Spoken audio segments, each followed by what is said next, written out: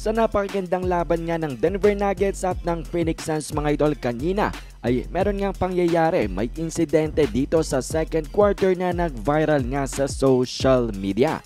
At yan ay walang iba mga idol, ito ang si Nikola Jokic against sa owner ng team ng Phoenix Suns.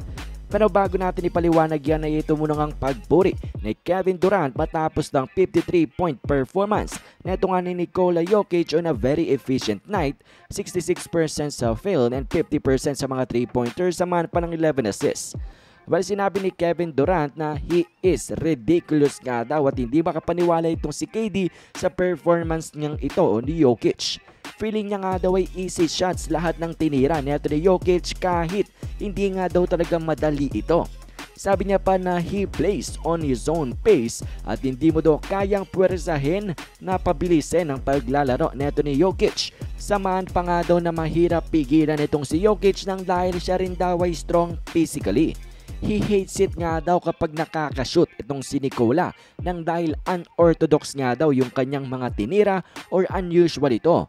Akala mo nga daw na mamimintis na yon. Sabi ni KD na for sure na mamimintis na yon pero at the end ay pumapasok pa rin ang kanyang mga tira. He is just incredible nga daw talaga at binuhat niya ang opensa ng kanyang team this game number 4.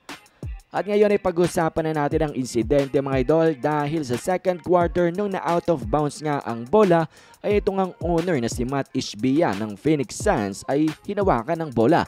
At mga idol nung kukunin nga ito ni Jokic para magtuloy na ng laban ay hindi nga binigay.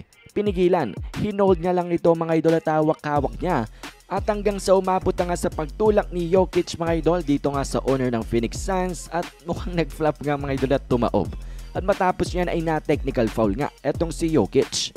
At sabi nga ni Jokic after the game, paliwanag daw ng referee sa kanya kung bakit siya na-technical ay dahil siniko niya daw yung isang fan. Pero paliwanag niya nga daw na nauna etong fan na ito na hawakan siya at akala niya daw ang NBA is supposed to protect the players from the fans. Pero iba nga daw itong nangyari dito. Kilala niya nga daw itong kanyang siniko pero sa gitna daw ng laban ay isa pa rin daw itong fan ayon kay Jokic. Nakaupo at nanonood so he is a fan. Kahit sino pa nga daw yan ay wala daw karapatan na apektuhan na ma-influence yung game sa pamagitan ng paghawak niya ng bola at hindi pagbibigay sa player para nga matuloy na itong laban nila. At ito namang si Coach Michael Malone ay natanong about dito na sinabi niya it's crazy nga daw na itong kanyang player na si Nikola Jokic ay na technical foul sa sitwasyon na iyon kanina. Kukunin lang naman daw ni Jokic ang bola para matuloy na ang laban. Pero nang dahil meron daw isang fan na hawak-hawak lang ang bola tapos ayaw pang bitawan na parang gustong maging parte daw ng laban.